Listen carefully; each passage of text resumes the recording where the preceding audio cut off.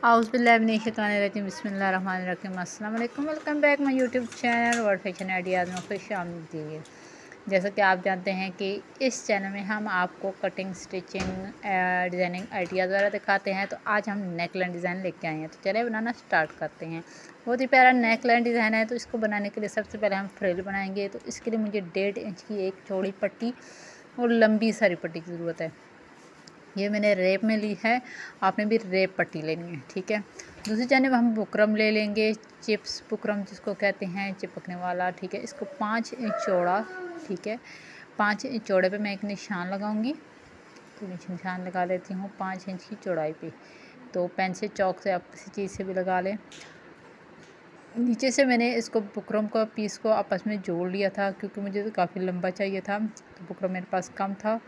तो वैसे भी नीचे से मुझे इसकी चौड़ाई थोड़ी कम चाहिए थी। तो यहाँ पे ट्वेंटी वन इंच पे मैंने इसका निशान लगा लिया है। तो यहाँ पे इसकी लंबाई में छः इंच रखूँगी, ठीक है? तो इसको एक बॉक्स की शक्ल बना लेंगे, ठीक है? पाँच इंच चौड़ा, छः इंच लंबा, ठीक है? एक बॉक्स की शक्ल बनाइए और नेक लाइन की लंबाई ट्वेंटी टू इंच होगी। तो इसमें ट्वेंटी वन इंच हम तैयार रखेंगे। तो यहाँ पे मैं डेढ़ इंच एक पे एक निशान लगाती हूँ, ठीक है? इंच निशान लगा के एक लाइन ड्रॉ कर लूँगी। सीधी सी आप किसी भी स्केल या इंची टेप की मदद से एक लाइन ड्रॉ कर सकते हैं। तो मैं यहाँ पे आ, इसके साथ ही कर रही हूँ ठीक है?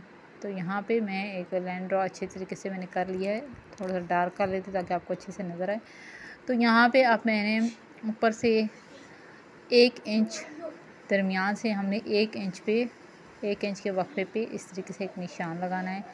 यहाँ पे हमने इसको थोड़ी सी शेप बनानी है। तो इसको थोड़ा सा पहले ऊपर की तरफ़ यूँ गोलाई में तिरछा सा यूँ शेप बनाते हुए, फिर यहाँ पे हम पिरच रखेंगे प्लेट प्लेट्स रखेंगे, कोई भी गोल चीज़ जिससे हमारे नेक लाइन गोल डिज़ाइन में आ जाएगा ये देखिए इस तरीके से। आप चाहे तो हाथों से भी कर सकते हैं, लेकिन ये मैं आपको एक टिप बताइए, इस तरीके से आप आसानी से नेक लाइन की शेप बना सकते हैं। तो चलें, अब इसकी कटिंग कर लेते हैं। ठीक है। यहाँ पे दरमियान में एक निशान में इस तरीके से पेन से लगा लूँगी ताकि इसके दरमियान फिर अच्छे से आपको समझ आ सके और कटिंग स्टिचिंग में आपको आसानी हो। तो यहाँ पे मैं पेन से सारा निशान मैंने लगा लिया इस तरीके से ये देखें। अब यहाँ पे कटिंग कर लेते हैं।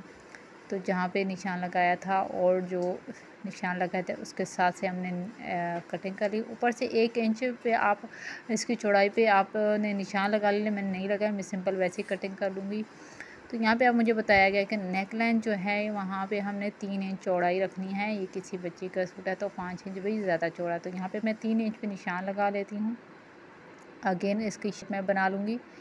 तो पहले तो मुझे जो कमीज़ दी गई थी शर्ट, उसके हिसाब से मैंने रखा था। तो अब मुझे बताया गया कि यहाँ पे इसकी नेक लाइन उनको दोबारा बताया है कि यहाँ पे इसकी निशान जो है हमने तीन इंच पे रखना है। तो इसी तरीके से बॉक्स की शक्ल फिर हमने बना लिया इस तरीके से निशान जो हमने बनाया हुआ था, शेप वो ठीक है। अब मैंने प्लेट की मदद से इसको यहाँ से राउंड शेप दे दूँगी और इसी को मैं जो है ना नेक लाइन को कंटिन्यू रखूँगी। बस ऊपर से हमने नेक थोड़ा सा तंग कर लिया है, ठीक है? पहले पाँच इंच पे था, अभी तीन इंच पे। आप अपने नेक के अकॉर्डिंग रख सकते हैं। तो यहाँ पे एक इंच चौड़ाई पे हमने बुकरम काट लिया है, ठीक है? Extra buckram.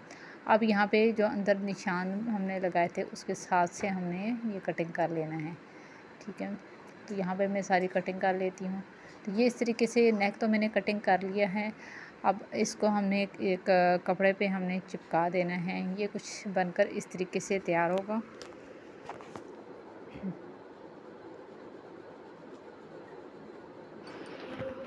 इस तरीके से कटिंग हो चुका है। चलें अब बनाना स्टार्ट करते हैं। इसको हम जो हमारे पास कमीज़ का फ्रंट है कमीज़ का जो कपड़ा है उस पर लगा लेंगे। तो सबसे पहले मैं फ्रंट सॉरी फ्रिल तैयार कर लेती हूँ। फ्रिल के लिए मैंने जो डेढ़ इंच पट्टी ली थी, उसको फोल्ड करते हुए इस तरीके से हम फ्रिल तैयार कर लेंगे। इसको हम हेयर पेन की मदद से, ब्लैक हेयर पेन जो होती है, उसकी मदद या किसी भी की मदद से हम ये फ्रिल बना लेंगे। एक जैसी चुनटें हमने यहाँ पे डालनी है, एक जैसे हमने यहाँ पे इस तरीके से पेंट्रेस बनाने हैं, ये देखें। एक जैसी हमने वक्फे बनाने हैं। इस तरह पेन की मदद से एक जैसी और सेम और सफ़ाई से आएगी। आपने भी पिन की मदद से इस तरीके से बना लेनी है।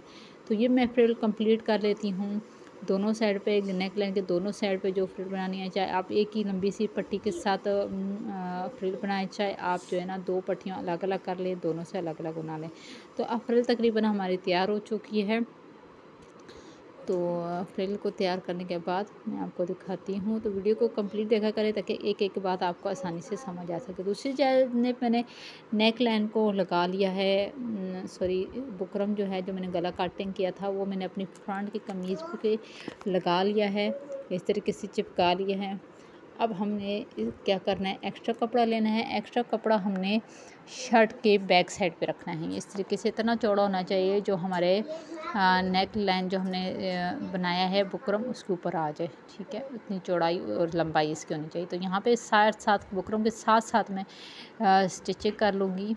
और जो दरमियान में लाइन है, उसके ऊपर लाइन के साथ में स्टिच करूँगी। तो यहाँ पे चले, मैं स्टिच कर लेती हूँ। नीचे वाला कपड़ा इसके साथ एक जैसा रखते हुए, ताकि दोनों जाने से थोड़ा एक्स्ट्रा बचा रहे, इस तरीके से रखते हुए सेट करते हुए। अब मैं स्टिच कर लेती हूँ इसको। बिल्कुल बुकरम के साथ साथ आपने सिलाई लगानी है। बुकरम के ऊपर आपने नहीं लगानी, यहाँ पे आपने बुकरम के साथ साथ लगानी है। और जो नीचे की तरफ़ है, वो आपने, जो लाइन हमने दरमियान में ड्रॉ की हुई है, उससे एक सूतर हट कर आपने सिलाई करनी है, ठीक है? यहाँ पर इस तरीके से। बिल्कुल लाइन के ऊपर नहीं, लाइन से एक सूतर हट कर आपने सिलाई करनी है। तो यहाँ पे मैं सिलाई कर लेती हूँ। नीचे से कपड़ा आपने सेट करते जाना है साथ साथ ताकि उसमें चुनट ना आए वो बिल्कुल सेट हो। यहाँ तक करते हुए अब मैं इसको थोड़ा सा मोड़ लूँगी।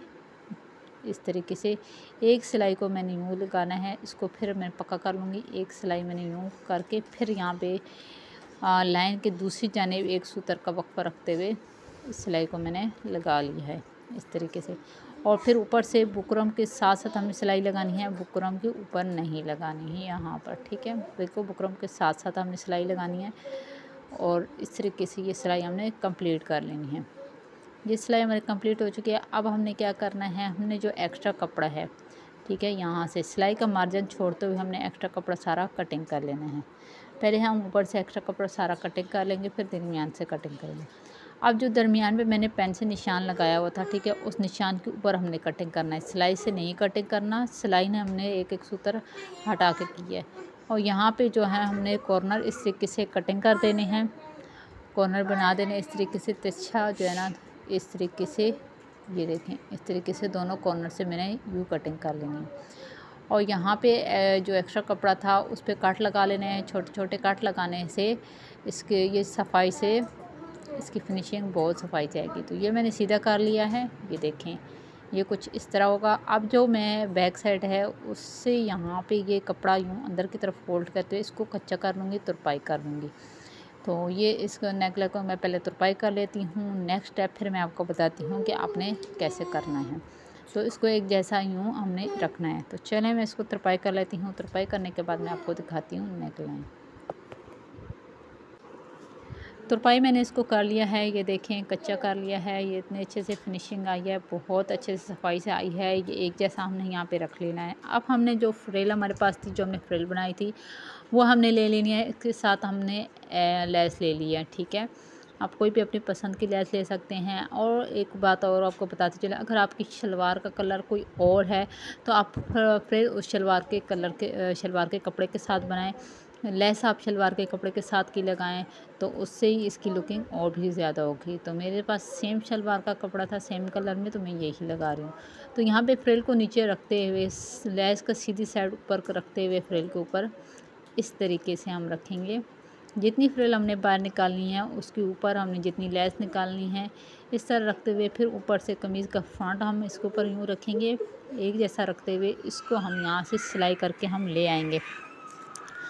सिलाई हम यहाँ पे यूँ करके लेके आते हैं। बिल्कुल सफ़ाई से हमने लानी है। एक जैसी हमने फ्रिल और एक जैसी लेस हमने निकालनी है। कहीं से फ्रिल ज़्यादा, कहीं से लेस ज़्यादा हमने नहीं निकालनी। हमने एक जैसी लेस और एक जैसी फ्रिल हमने निकालनी है। तो यहाँ पे मैं ये मेरे लेफ़्ट साइड में यहाँ पे कंप्लीट कर लेती हूँ। फिर राइट साइड भी आपको बताऊँगी कि आपने कैसे करना है। तो यहाँ पे आपने बिल्कुल ध्यान करना है। इसकी गोलाई पे भी आपने बिल्कुल आराम से इसकी फ्रिल बनानी है। एक जैसी आपने लेस और फ्रिल को निकालना है। जहाँ पे ये गले की गोलाई है, यहाँ पे आपने ख़ास इस बात का ध्यान रखना है। यहाँ पे अक्सर लड़कियों से बहुत गलती हो जाती है। तो आपने यहाँ से बिल्कुल आराम से फ्रिल और लैस को एक जैसा गुलाई में रखते हुए तो यहाँ पे रैप में कपड़ा, मैंने इसीलिए रैप के कपड़े से ये फ्रिल बनाई थी ताकि यहाँ पे गुलाई के लिए कोई मसला ना बने। रैप के कपड़े से आप कहीं भी कोई भी गुलाई, कोई भी जगह हो तो आप आसानी से उसको बना सकते हैं। तो यहाँ पे मैं इसको कंप्लीट सिलाई कर लेती हूँ। लेस के साथ और लेस को मैं एक्स्ट्रा लेस को फिर यहाँ से कटिंग कर लूँगी। तो जहाँ तक मैंने कट का निशान रखना है कमीज़ का तो वहाँ तक मैंने इसको सिलाई लगा ली है फ्रिल को। तो एक्स्ट्रा फ्रिल फिर बाद में हम कटिंग कर देंगे। तो ये एक साइड हो गई तो दूसरी साइड भी मैं आपको लगा के दिखाती हूँ। यहाँ पे एक्स्ट्रा लेस को मैं कटिंग कर दूँगी, जहाँ तक सिलाई किया, उसके बाद एक्स्ट्रा लेस को कटिंग कर देंगे। तो अब दूसरी जाने पे हमने फ्रिल और वो कैसे लगानी है, लेस तो अब मैं आपको यहाँ से आपको आसानी से समझ आएगी। ये देखेंगे इस तरीके से आपने फ्रिल को रखना है। सीधा करके ऐसे फ्रिल को रखना है, फ्रिल को रखने के ऊपर, इसके ऊपर लेस भी हम साथ में स्टिच कर देंगे। आप चाहें तो पहले लेस, फ्रिल के साथ पहले स्टिच कर लें, उसके बाद आप कमीज़ के साथ इसको सिलाई कर लें। तो मैं लेस और फ्रिल एक साथ, एक ही सिलाई में ये तीनों चीज़ें स्टिच कर रही हूँ। तो आप चाहें तो पहले लेस और फ्रिल को आपस में स्टिच कर लें, उसके बाद आसानी से आप शर्ट के साथ इसको स्टिच कर सकती हैं। तो यहाँ पे ये देखें, इस तरीके से आपने इसको पहले पक्का करना है। लेस को थोड़ा सा आपने बाहर निकालना है, जितना आपने दूसरी साइड से निकाला है। फ्रिल को भी आपने एक जैसा निकालना है और गुलाई को आपने ख़ास ख्याल रखना है। ये देखें, कितनी सफ़ाई से नीटनेस ये आ रही है, यहाँ पे कितनी सफ़ाई से और कितनी प्यारी लग रही है फ्रिल। अगर आपके पास कलरफुल कपड़े हैं मैचिंग सूट है तो आप किसी और कलर में फ्रिल या लेस लगाएँगे तो वो और ही ज़्यादा उठा हुआ आएगा उसमें, ठीक है? तो यहाँ पे मैं इसकी ये शेप्स बना लेती हूँ। अब यहाँ पे आपने क्या करना है? यहाँ पे आपने इतना इसको करना है कि आपको समझ आए कि आपने कहाँ तक इसको करना है। जहाँ तक आपने कट का निशान रखना है, अपना गोला गला ओपन रखना है तो वहाँ तक आपने इसको सिलाई करना है। आगे से आपने देखें, अभी फ़िलहाल मैंने इसको सीधा छोड़ा हुआ फिर हम इसको अंदर तिरछा कर लेंगे। मैंने यहाँ पे लेस को कटिंग नहीं किया। ऐसे ही मैंने फ्रिल को अंदर की तरफ़ तिरछा कर लिया है और इसकी शेप बना ली है। लेस भी मैंने फ़िलहाल ऐसे ही छोड़ी है, लेस कटिंग नहीं क्योंकि लेस हम कम्प्लीटली आके हमने लगाना है। तो यहाँ पे पहले हम गले को सेट कर लेंगे कि हमें कट का निशान कहाँ तक रखना है, गला हमने कहाँ तक रखना है। तो एक्स्ट्रा कपड़ा हम लेंगे, ठीक है एक्स्ट्रा पट्टी हम लेंगे, इसको हम इस तरह डबल फोल्ड करते हुए पहले हम राइट हैंड साइड पे हमने इसको लगा लेना है। तो कपड़े की ऊपर की जानब से हम थोड़ा सा अंदर की तरफ़ फोल्ड करेंगे कपड़े को, इस तरीके से। फिर इसको डबल फोल्ड करते हुए आप चाहें तो ऊपर सिलाई लगा लें, आप चाहें तो डायरेक्टली इसको यहाँ पे यूँ स्टिच कर लें। तो पहले राइट हैंड साइड पे जहाँ तक मैंने वो फ्रिल और लेस लगाई थी, वहाँ पे मैंने इसको स्टिच कर लिया है कम्प्लीटली जहाँ तक हमारा कट का निशान था, वहाँ तक। अब दूसरी जानब, अब हमने इसको गले को आपस में जोड़ना कैसे है? मेन पॉइंट तो ये है। तो यहाँ पर मैं आपको दिखाती हूँ। आपने दोनों साइड पे गलों को एक साथ रखते हुए, नीचे से आपने बिल्कुल उसको झोल आपने उसका निकाल देना है, एक जैसा नीचे से रखना है। अब यहाँ पे गले को आपने इस तरीके से रखना है, आपने चेक करना है कि आपको कट का निशान कहाँ तक चाहिए अगर आपको थोड़ा नीचे तक चाहिए तो आप लेस को वहाँ से अंदर की तरफ़, ये मैंने फ्रिल देखें, एक्स्ट्रा रखी हुई है तो इसको मैंने अंदर की तरफ़ यूँ तिरछा करके रख दिया है, जैसे कि हमने फिनिशिंग कैसे करनी है इस तरीके से। अगर आपको थोड़ी नीचे से चाहिए या थोड़ा सा ऊपर से तो आप थोड़ा ऊपर से या थोड़ा नीचे से आपने फ्रिल को और तिरछा कर लेना है, ठीक है? तो यहाँ पे मैं इसको पहले जहाँ तक मुझे ये चाहिए, इसने इसको काट का निशान, जहाँ तक मैंने इसको बंद करना है, यहाँ तक मैं इसको सिलाई करके थोड़ा सा इसको इस तरह घुमाते हुए सिलाई को पक्का कर लूँगी, क्योंकि मुझे यहाँ तक काट का निशान चाहिए, ताकि गला मेरा यहाँ तक ओपन हो, इससे आगे ओपन ना हो। तो मैं यहाँ पे इसको सिलाई कर लेती हूँ। इसको सेट करते हुए नीचे से भी थोड़ा सा खींच के रखते हुए ताकि नीचे कोई झोल वगैरह ना रहे। बाद में सिलाई करने के टाइम तो नीचे से आपने एक जैसा रखते हुए खींच के रखते हुए और यहाँ पे ऊपर से आपने सिलाई निकाल लेनी है। सिलाई लगाने के बाद हम इसको बैक लेके जाएँगे। इस तरीके से और जो नीचे लेस हमने छोड़ी थी, जो कटिंग नहीं की थी, उस लेस को हमने पैर की तरफ़ थोड़ा सा निकालते हुए जिस तरीके से हमने ऊपर नेक में बनाया है इस तरीके से थोड़ी सी लेस को हमने निकालते हुए इस तरीके से बिल्कुल किनारे पे हमने सिलाई लगा लेनी है। तो ये देख सकते हैं यहाँ पे कि मैं किस तरह लगा रही हूँ। इस तरीके से आपने थोड़ी सी लेस निकालते हुए बिल्कुल किनारे पे आपने सिलाई लगानी है और सिलाई बहुत अच्छे से सफ़ाई से फिनिशिंग में लगानी है। बहुत आराम से लगानी है ताकि आपकी ये सिलाई क्योंकि ये नज़र आती है फ्रंट पे सामने तो ये आपको अच्छे से नज़र आती है तो, तो ये अच्छे से सफ़ाई से आए। तो अब फाइनली इसका जो है ना एंड हमने कैसे लगाना है जहाँ तक हमें लेस चाहिए वो हम कटिंग कर लेंगे। थोड़ी सी और सिलाई करके फिर मैं लेस को कटिंग कर लेती हूँ। यहाँ पे अब मैं लेस को कटिंग कर लेती हूँ जो मुझे लेस चाहिए थोड़ी सी अंदर की तरफ़ हम इस लेस को दे देंगे। नीचे से कपड़ा हमने साथ साथ रखना है जो नीचे हमने पट्टी लगाई थी। वो हमने नीचे से सीधा करके साथ साथ रखना है यहाँ पे लेस को ये देखें, अंदर की तरफ़ डालते हुए, एक जैसा रखते हुए, इस तरीके से हम यहाँ तक सिलाई हम फिनिश कर लेंगे। तो लेस ने हमने अंदर ही की तरफ़ रखनी है, यहाँ पे सिलाई कंप्लीट करते हुए इसको पक्का करना है। थोड़ा सा घुमाते हुए एक सिलाई यूँ लगाएँगे, फिर इसको बैक घुमाते हुए सिलाई को ऊपर की तरफ़ हम ले जाएँगे और इसको हम पक्का कर लेंगे बस। यहाँ पे अब इसको काट लेंगे। तो ये अब मैं आपको इसकी फ़ाइनल लुक दिखाती हूँ, ये देखें। ये कट, इतना सा मैंने रखा है ये इस तरह इसकी फिनिशिंग आई है, कितनी प्यारी इसकी सफ़ाई से सिलाई आई है, मैं आपको दिखाती हूँ, ये देखें बिल्कुल आपकी इस तरीके से सिलाई आनी चाहिए तो उम्मीद करती हूँ आज का ये नेक लाइन डिज़ाइन आपको पसंद आएगा तो पसंद आने के उसमें वीडियो को लाइक करें चैनल को सब्सक्राइब करने के साथ बेल आइकन को ज़रूर प्रेस करें। कमेंट्स करके ज़रूर बताइएगा, आज का ये नेक लाइन डिज़ाइन आपको कैसा लगा? फिर कौन सी वीडियो कौन सा नेक लाइन डिज़ाइन होना चाहिए? फिर मिलता है नए वीडियो के साथ, अपनी दुआ में याद रखिएगा, अल्लाह हाफिज़।